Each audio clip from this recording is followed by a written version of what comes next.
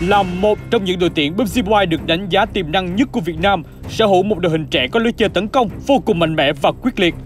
Ripper Killer đã nổi lên như một thế lực khi bất ngờ đứng đầu tại vòng loại BMCO mùa thu 2019 với số điểm gấp đôi đội đứng thứ hai.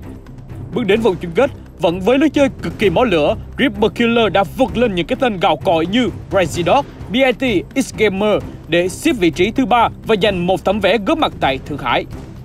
Tiếp tục thi đấu thành công tại C-League và có được một suất đi C-Final. Đến lúc này, phải đối đầu với những đối thủ quá mạnh, các chàng trai trẻ đã không thể làm nên bất ngờ và đành dừng chân ở vị trí thứ 12 trên bảng xếp hạng trung cuộc. Những tưởng đó là bước điểm cho một trong những tương lai tư sản của Ripper Killer thì bất ngờ trên fanpage chính thức của họ đã thông báo về sự tan rã của các thành viên trong team.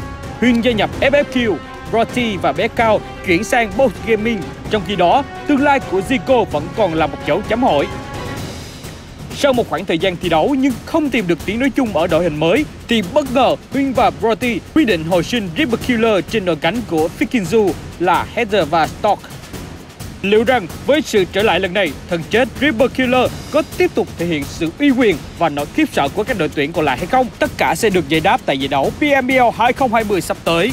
Vòng Re-Challenge giải đấu BNBL 2020 sẽ chính thức được diễn ra từ ngày 22 tháng 2 đến 26 tháng 2 2020. Vòng Pro League và vòng Việt Nam Final sẽ được tổ chức tại Cucubay Đà Nẵng từ ngày 14 tháng 3 đến ngày 5 tháng 4 2020 với sự góp mặt của 24 đội tuyển mạnh nhất cả nước. Toàn bộ giải đấu sẽ có tổng giá trị giải thưởng lên đến 1,5 tỷ đồng. Đăng ký ngay kênh YouTube Bixi Mobile VN để cập nhật các thông tin mới nhất về giải đấu lần này.